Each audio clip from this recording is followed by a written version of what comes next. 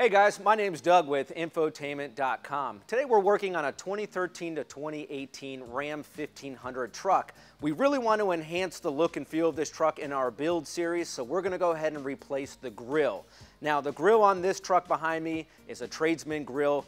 There's no zing or zang with it. It just looks terrible. We want to upgrade to the new style Ram Chrome Grill. So we chose this specific one. We'll put the part number in the description and on our website so you guys can read up on it.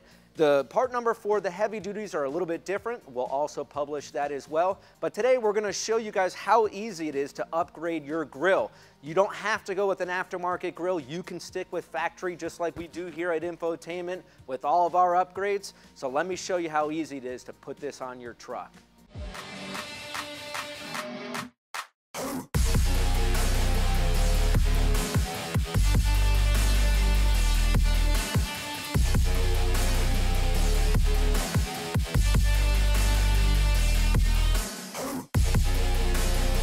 All right, before we get started on removing the grill, all we need is a couple of tools. One is a 10 millimeter uh, socket and a ratchet or an impact of some sort, and a panel tool.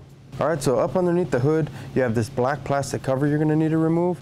It's just held in with uh, a few retaining clips. These are kind of like the uh, Christmas tree that instead of gripping it from underneath the clip itself, I like to go underneath the whole um, plastic shroud. That way the clip stays in place. When we go to put it back in, all we got to do is line it up and press it back down. You have another large one right next to your radiator cap. Pop that up. One more next to the hood latch on both sides. Down on the driver's side next to the radiator hose and above the driver's headlight. Now with all those removed, you can just pull the shroud up and set it aside. And that'll give us access to the four 10 millimeter bolts that we need to remove. And the first one is next to your coolant reservoir. And again, next to your hood latch or your hood release.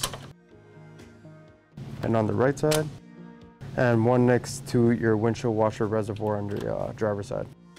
All right, once you pull the four 10 millimeter bolts out, you can just take your grill and pull towards you to release the retaining clips that are holding it on. And we can set this aside. All right, now with our new grill in hand, you basically line it up to your screw holes on top. And once they're lined up on top, you can give it a smack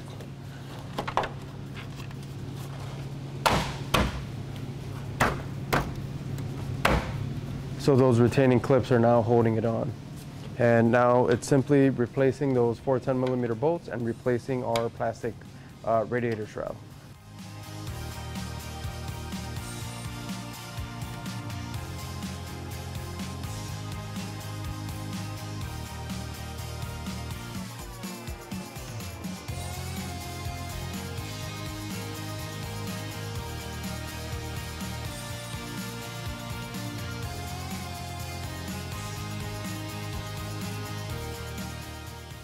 All right, and that wraps up this install. As you can see, it was super easy, super simple, um, only a few minutes in total to get this grill swapped out. Um, and it's that easy to get a much more aggressive look on the front of your Ram. This is probably one of the uh, easiest installs that we're gonna do on this build series. Um, so if you like this video and you wanna see more, come back to infotainment.com.